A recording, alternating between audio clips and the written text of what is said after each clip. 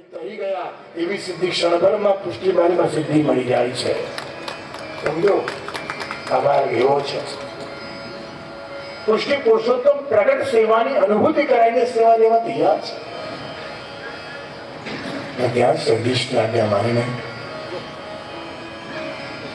શ્રી ગુસારાજી આગળ પધારી રહ્યા છે.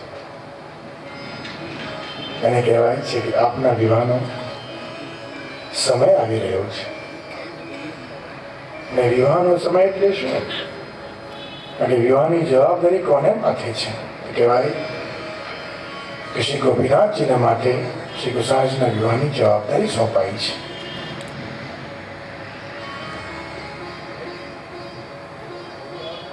અને આપ સોળ વર્ષની આયુના થયા છે.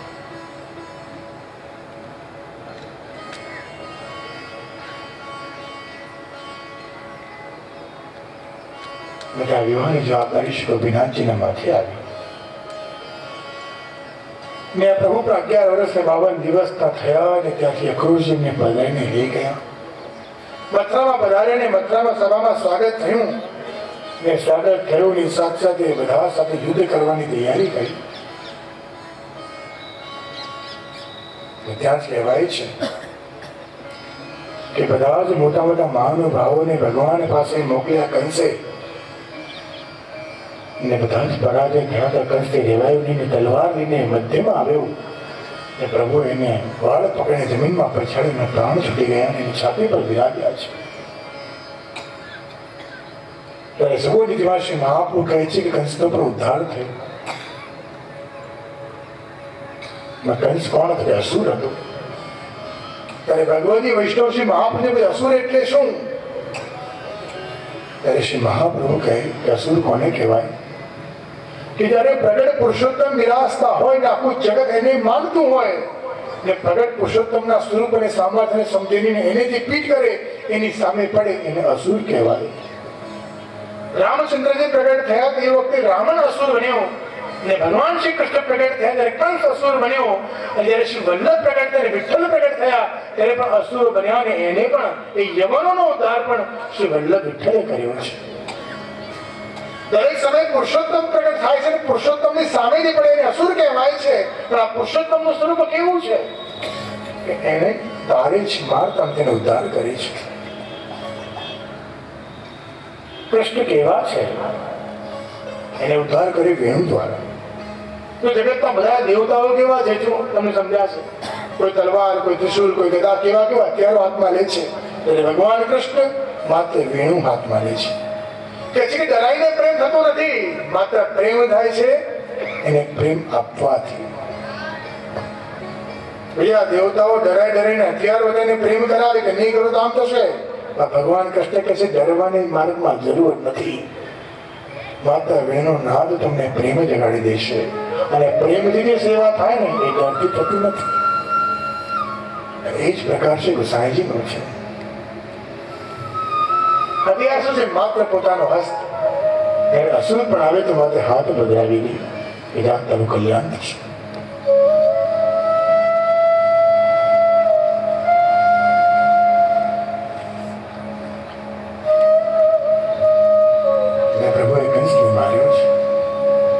ઉગ્રસેનને રાજા બનાવ્યા. વ્રજની યાદ પ્રભુને આવીને આંખોથી આંસુ આવ્યા. તો નારદજી એને પૂછે, તમે કેમ રડો છો? રડવાની ક્યાં જરૂર છે? આ ગોકુલ સામે છે મથરાની ક્યાં તું જીતારો? પ્રભુ કહે છે, નહીં જઈ શકાય એવી મારાથી. નારદજી કહે છે, કેમ ન જવાય? ગોકુલ તમારું છે, ગોપી તમારી છે, જાઓ. ભગવાન કહે છે, હવે ગોકુલ જઈ શકાય એમ નથી. નારદજી કેમ ન જવાય? ભગવાન કોણ રોકે છે તમને? કૃષ્ણ કે રોકનાર તો કોઈ નથી, પણ એક વાત કહું કે શું? કે સમજે નાનકડું ગામ છે ને ગામમાં જેટલા પણ વ્યક્તિ રહે છે ને બધા ઉછીના પૈસા લીધા છે ને દેવું કર્યું છે. ને બધાને ઉછીના પૈસા લઈને મોટું દેવું તું, ગામ છોડીને જતો રહે. છતાં ચૂકવવાના પૈસા ન હોય તું ગામમાં જઈ શકે ખરો?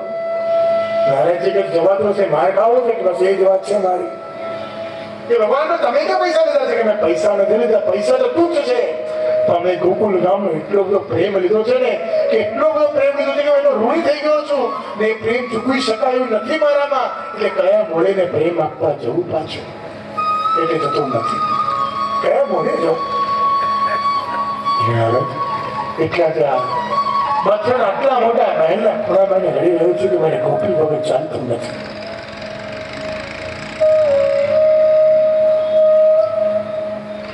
ઉદ્ધવજી અસરા થાય ત્યાં ભગવાન વિચાર કરે કે એવી એક નગરીની સ્થાપના કરવી છે, જ્યાં કોઈ દુઃખ ના હોય. ગરીબ ના હોય, સંતોષ હોય, આનંદ હોય, પરમાનંદ જ્યાં થાય. એવી એક નગરી વસાવી છે. અને પ્રભુ પોતાની સાથે બધા જ યાદવને જોડ્યા. તે યાદવોને જોડીને ઘરની બહાર નીકળ્યા. અને યાદવજીને જોવા માટે એક નગરી બનાવી. નગરીમાં પ્રવેશ કરીને યાદવે પૂછ્યું કે પ્રવેશ થયો છે, પણ દ્વાર ક્યાં છે, દ્વાર ક્યાં છે, દ્વાર ક્યાં છે? ભગવાન નામ દ્વારકા પડેલું છે અંદર આવવાનો રસ્તો મળે, પણ બહાર જવાનો રસ્તો ન મળે, એને દ્વારકા બનાવી દીધી અને ભગવાનની સોનાની નગરી સિદ્ધ કરી દીધી. નામ પડ્યું દ્વારકા.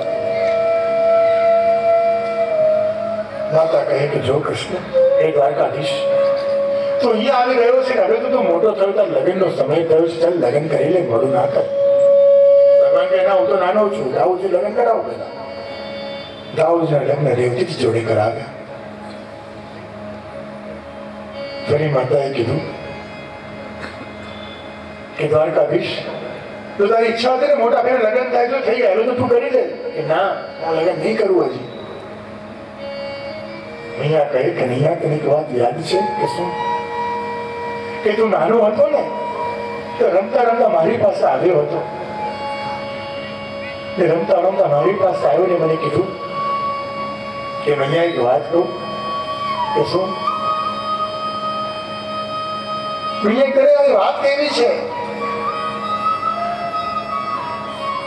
હું તો આવું કહીને શરમાઈને ચૂપ થઈ જતો.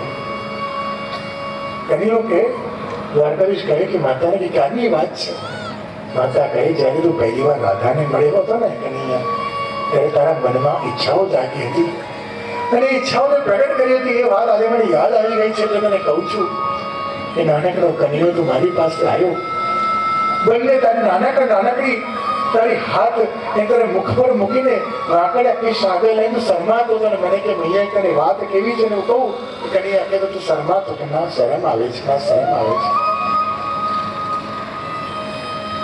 અને કેટલું તને કહું કન્યા કે એને શું છે? કન્યા શું છે વાત કરને? કન્યો કે ના, માં મને શરમ આવે છે કેવી રીતે બોલું? એટલે મેં બહુ આગ્રહ કર્યો ત્યારે કીધું કે મૈયા લોકો હા કરનો હોય, મારે લગ્ન કરાવી દે ને. ત્યારે હું હસતી કરે કન્યા તું કેટલો નાનો છે. અને પછી હું તેને પૂછતી કે કન્યા તને કેવી દુલ્હન જોઈએ? કન્યા મને કહે તને કેવી દુલ્હન જોઈએ છે? ત્યારે કન્યા તું કહીને મને કહેતો કે, મૈયા લોકો એસી દુલ્હન લાવો. કન્યાને કેવી દુલ્હન જોઈએ કે પોતાના ખોળામાં લઈને ફરતી રહે. તેને કેવી દુલ્હન જોઈએ કે પોતાના ખોળામાં બેસાડી, દૂધ પીવડાવે? કન્યાને કેવી દુલ્હન જોઈએ કે પોતાના હાથે ખોળા બેસાડી રાજનો ગરોગાવે કન્યાને કેવી દુલ્હન જોઈએ કે રાતે સૂતા એને દૂધ રોગાવે? એને એવી દુલ્હન જોઈએ કે ક્ષણ માટે એની સેવામાં તત્પર બની જાય. ખૂબ પ્રેમ કરે એવી દુલ્હન કનૈયાને જોઈતી હતી. એટલે જ કન્યો નાનકડો કન્યો ગાય છે, કનૈયા. મૈયા એસી દુલ્હન લાવો. મૈયા હસી રહી છે, કનૈયા. તું આટલો નાનો તમે દુલ્હન માંગે છે? કે મૈયા, અબ મેરો બ્યાહ રચાડો શ્રી ગોપીનાથજી પ્રભુચરણ ઉષાજીના વિવાહની વાત કરવા આગળ વધી રહ્યા છે. ત્યાં જ કાશીમાં રહેતા વિરોધી પરિવારના વિશ્વનાથ ભટ્ટની દીકરી. એનું નામ પણ રૂક્ષ્મણી છે. શ્રી ગોપીનાથ એક જ વિચાર કરે છે કે વિઠ્ઠલનાથ જે સાક્ષાત વિઠ્ઠલનાથનું અલૌકિક સ્વરૂપ છે. અને એમના અવજી તરીકે કોને લાવવા? એ સર્વગુણ સંપન્ન હોય, એને લાવવા જોઈએ. અહીંયા છે દાઉજીના લગ્ન પછી ભગવાને ફરી પૂછ્યું કે કન્યા તને કેવી હોવું જોઈએ? કન્યું કે, ત્રણ વસ્તુ મારા સમજમાં છે, જો એવી મળી જાય તો કહેજો કે કેવી કે બુદ્ધિશાળી હોવી જોઈએ. કન્યા કે, બુદ્ધિશાળી સો ટકા મળશે. તો કન્યો કે, એવી બુદ્ધિશાળી નહીં કે ઘરમાં કંઈ કામ કરે જ નહીં ને સાસુ સાસ જોડે કરાવે એવી નહીં પાછી. કે સારું, એવું ધ્યાન રાખશો. બીજું કે ઉદાર હોય. કોઈ પણ જીવ માત્ર પણ દ્વાર પર આવે તો ત્યારે ખાલી હાથે ન જવા દે.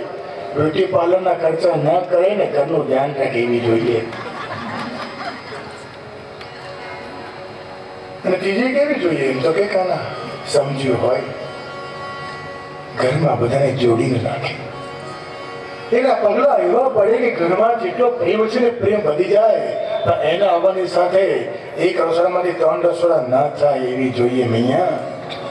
આ કલિકાલનો અનુભવ તને નથી, મને છે એવું કહે છે કનૈયા. કેવી હોવું જોઈએ કન્યા? કેવી જોઈએ કે બુદ્ધિશાળી હોય, ઉદાર હોય ને સમજવું હોય. જે ઘરને જોડીને રાખે, જીવ માત્ર પર દયા કરે, ઉદાર હોય. અને ઘરમાં બધું કાર્ય પોતે સંભાળી લે. એવી હોવું જોઈએ આવા વખાણ કરતા કરતા નારાજી સાંભળી ગયા. જો નારાજી જ્યાં કઈ થતું હોય ત્યાં નારાજી પહોંચી જાય. નારાજી આવ્યા ને વર્ણન સાંભળ્યું ને કનૈયાને કીધું, એ દ્વારકાધીશ, એક વાત કહું. દ્વારકાધીશ કહે, કહો નારદજી તમે એક વાત કોઈક વાત તો કરીને ગોકુલ છોડાવ્યું, મથરા છોડાવી દ્વારકા આવ્યો છું. તો અહીંયા શાંતિ રહેવા દેજો. કે ના રહેવા દઈશ. વાત તો સાંભળો કે શું? કે તમે જેવા સર્વગુણ સંપન્ન છો ને? આ જગતમાં તમારા એક જ છોકરી છે જે સર્વગુણ સંપન્ન છે. કે ના હોય કે કોણ? રાજા ભીષ્મકની દીકરી રુક્ષ્મણી એ ગોપીનાથજી પણ આખું જગત જોયું ને કાશીમાં નીકળી. વિશ્વનાથ ભટ્ટની દીકરી રુક્ષ્મણી અને અહીંયા નારદજી પણ આખું જગત ગોતી નામે એક જ દીકરી નીકળી, એ પણ રુક્ષ્મણી અહીંયા વિઠ્ઠલનાથને તૈયાર છે અને બંને છે એક જ સ્વરૂપો. અને કેવી અલૌકિક વાત છે. ભગવાન, હે દ્વારકાધીશ કે નારદજી, તમે કહો છો સાચી વાત છે, આટલી તૈયાર દીકરી આટલી સમજદાર સર્વગુણ સંપન્ન હોય તો એની જોડે લગ્ન થાય. પણ તૈયાર બી તો થવી જોઈએ ને. કે તૈયાર થઈએ શરીર તૈયાર ક્યારે થાય કે તમારા કાકાના દીકરા શિશુપાલ જોડે એની સગાઈ થઈ ગઈ છે ને જેની સગાઈ થઈ હોય એની જોડે આપણે લગ્નનો વિચાર કરાય? નહીં. એ તમે ચિંતા ના કરશો રુક્ષ્મણી તૈયાર શું છે ને કર્યું નારદજી ગયા રુક્ષ્મણીજી પાસે કહ્યું કે તમારે લગ્ન તમારે સાંભળ્યું કે હા કોની જોડે? શિશુપાલ જોડે. નો એની જોડે કરાય. તમને આખા જગતમાં કોઈ ના મળ્યું એ મળ્યું? કેમ? ક્યાં તમે ને ક્યાં એ એ તો સારો યાદવ ઘરનો છે, સારો છોકરો છે કે શું સારો છે? ક્યાં તમે છો, ખબર તમને એ ક્યાં છે? ઊભા એ કેમ કે દ્વારકાધીશને ઓળખો છો? એટલે ના અરે એના ગુણ સાંભળ્યા છે કે ના? નારાજીએ તો પ્રભુના વિષ્ણુના સ્વરૂપના ગુણગાન કરવાનું શરૂ કર્યું અને દ્વારકાધીશના ગુણ એક છે ગાઈને લક્ષ્મણજીને ભાવ વિભોર કરી નાખ્યા. લક્ષ્મણજી કહે છે, નારદજી તમે જે વર્ણન કર્યું છે દ્વારકાધીશનું એક એક લીલાઓનું, ચરિત્રનું, સ્વરૂપનું, જ્ઞાનનું મહાત્મ્યનું મને તો સાંભળીને જ પ્રેમ થઈ ગયો છે. પણ એક વાત કહું કે શું? હું કેવી રીતે કહું કે મને લઈ જાઓ અહીંયાથી? નારદજી કઈ ચિંતા નહીં કરો, હું છું ને. હું છું ને, પત્ર લખી દો ફટાફટ. ને પત્ર લખવાની તૈયારી કરીએ તો લક્ષ્મણજી કીધું મારે પાસે પેન પણ નથી ચિંતા નહીં બધું લઈ આપું છું. કાગળ, પેન, કલમ બધું પોતે લઈ આવ્યા જે આપણે વિવાદ સર્જવાનો હોય ને તેના આવી જાય. બધું તૈયાર કરી નાખ્યું કે તમે લખવામાં માટે શબ્દ નહીં મળે એ પણ કહીશ ચિંતા નહીં કરો બધું સંભાળી લઈશ. પણ વિવાદ થવા દો તો. લક્ષ્મણજી પત્ર લેખવા બેઠા અને લક્ષ્મણીનો પત્ર આખા વિશ્વમાં પ્રખ્યાત છે. એવું કહેવાય છે, મનાય છે કે કોઈ છોકરું લગ્ન ન થતું અને ને લક્ષ્મણીજીનો પત્રનો પાઠ કરે તો સાહેબ લગ્ન થઈ જાય છે. એવું કહેવાય છે સત્ય વાત છે. તો આ રૂક્ષ્મણીને તો કષ્ટ મળે, અત્યારે રૂક્ષ્મણીને કષ્ટ મળી ના મળી, નક્કી ના ગણી શકાય. એ એ જવાબદારી આપણે નહીં. કાલે ઉઠીને કોઈ પાઠ કરીને મારી પાસે આવે કે પાઠ કર્યા પણ કૃષ્ણ જેવા નથી. કરવાની છૂટ છે. જવાબદારી કૃષ્ણ ઉપર છોડી દેવાની છે. સ્વત્વામ ગુણાન ભુવન સુંદર સ્વત્વામ નિશ્ચયકર્ણ કરે હરે તાપમ. હે પ્રભુ, હે ત્રિભુવન મંગલ. રૂક્ષ્મણીજી આ વિચારે કે જેની જોડે મારી કોઈ સંબંધ નથી શું ઉદબોધન આપો. પ્રિય ન કહેવાય, પ્રિય દર ન કહેવાય, સ્વામી પણ ન કહેવાય. એટલે કીધું હે પ્રભુ, ત્રિભુવન મંગલ આપનો શ્રવણ મંગલ કરીને આપના ભાવ વિભોર બની છું, આપને પ્રેમ કરી બેઠી છું. આપના ગુણો જોઈને મને પ્રેમ થયો છે હે પ્રભુ. આપ મોટા ઘરના છો, તો હું પણ કોઈ નાની ઘરની દીકરી નથી. આપ જ્ઞાની છો, તો હું પણ જ્ઞાની છું આપ સુંદર છો, તો હું પણ સુંદર છું. તો પ્રભુ, એક વાત યાદ રાખજો. મારા લગ્ન જો શિશુપાલ જોડે થયા ને, તો અપમાન મારું